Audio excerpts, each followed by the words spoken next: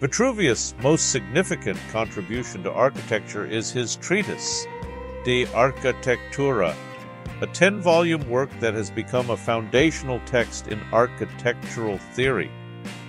Written in the late 1st century BC, this comprehensive guide covers a wide range of topics, from design principles and building materials to the role of the architect and the ethics of the profession. De Architectura is remarkable for its breadth and its depth, offering insights into Roman engineering, city planning, and the use of natural resources.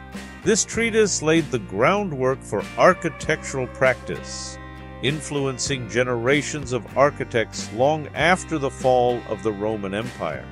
Vitruvius's emphasis on a blend of functionality, durability, and beauty in design remains relevant today.